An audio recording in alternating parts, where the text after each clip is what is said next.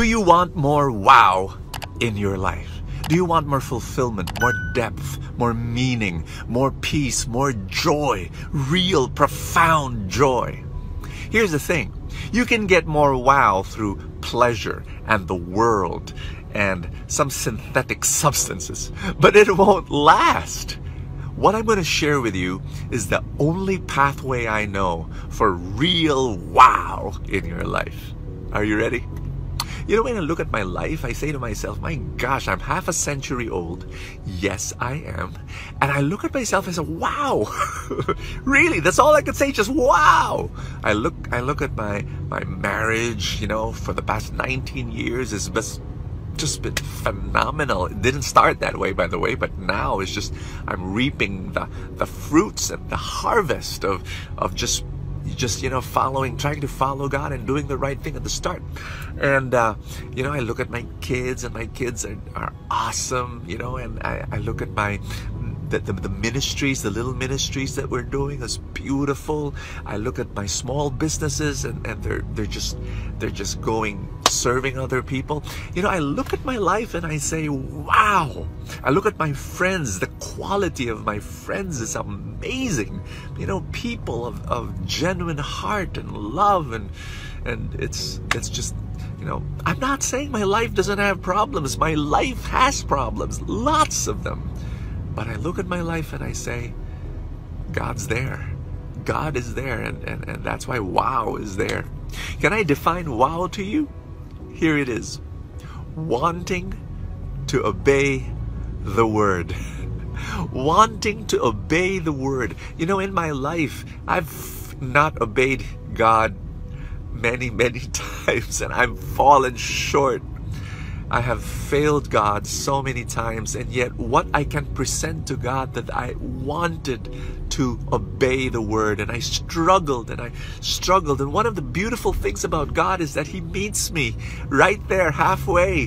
He is a God who says, You know, I honor your struggle, and you may have failed, but you struggled to obey me, and I honor that, and I give you the grace and the forgiveness. And so I speak God's word to you right now. Have you failed God? If you have, you know, and you just tell Him, Lord, I want to obey you, and I, I, am struggling to obey you, and I receive your Holy Spirit, I receive your grace, and He will bless you. You know, obeying the word looks so so old-fashioned and so, my gosh, so killjoy. But actually, it's the very opposite. The only way to have real joy is to obey the word. Now, you don't have to know Greek or Latin or Hebrew to know the word. You know, if you really think about it, Jesus gives us two greatest commandments love God, love your neighbor. Love God with all your heart, soul, mind, strength. Love your neighbor as you love yourself. You love yourself. You know, you should. You should love yourself and value yourself. I know a lot of people who are going through all sorts of problems because they don't love themselves, you know. Someone taught them not to love themselves. So, first things first, you've got to love yourself. And because you love yourself and because you value yourself, you know, in the same way love other people. This is the word of God. Will you obey that every single day? You know, God doesn't go into the specifics or to the details of, you know, where will you go? What will you do? What what dress will you wear for crying out loud? Follow these two great commandments. Wanting to obey the word every day of your life. Follow these two greatest commandments every single day. You know what? I, I God doesn't go to the specifics. He puts a canvas in front of you, and then He gives you paint, and He says, "Paint the most beautiful painting." It's so tempting to go to God and say, Lord God, what kind of painting?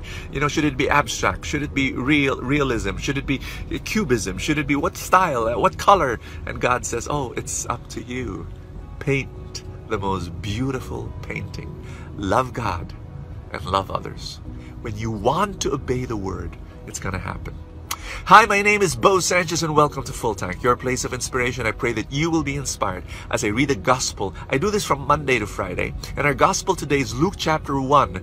And it talks about, verse 26 to 38, it talks about Mama Mary receiving a visit from the angel. And the angel said, you know, Hail Mary, full of grace. The Lord is with. Look, look at this in verse all the way, and the angel tells Mama Mary what she's supposed to do, and then and then verse 38. I am the handmaid servant of the Lord. Mama Mary says, "Be it done unto me according to your word." And she wanted to obey the word. And may we become Mama Mary. May we also say, I am the handmaid servant of the Lord. Father in heaven, I pray for every friend watching this video. I pray that you give them a great weekend, but most especially, may they be obedient to your word. I pray, Father, for your Holy Spirit work in their lives. In the mighty name of Jesus, may their obedience open up their lives for more joy, peace, and love and strength in Jesus' name. Amen and amen. In the name of the Father, and of the Son, and of the Holy Spirit. Thank you so much, guys, for this opportunity. Listen to me. If you do not have yet a spiritual community, and um, you know, I really believe we need, we really need one. You know, all of us do. Um, just in case you don't have one, you can join the feast. Um, go to feast.ph and then you know look at, at the, all the other feasts that we have. They're all over the world. Um, you can even start one by by starting a, a feast light. And uh, again, you know, go through that web page and find out more about what we do. And then thank you so much for, for being there, for being part of Full Tank. God bless you, everybody, and I will see you tomorrow. Thank you so much for joining us. I have a favor to ask. If you have not yet done so, subscribe to this podcast because that's how these things work, you know, the algorithm, etc. Somewhere, somehow, it gets up into the ranking, and then people will get to know more about it, and people will listen, and then people will be blessed, and then the blessings will ripple, and more and more people will experience God's love. Thank you again for all your support, and I will see you next time.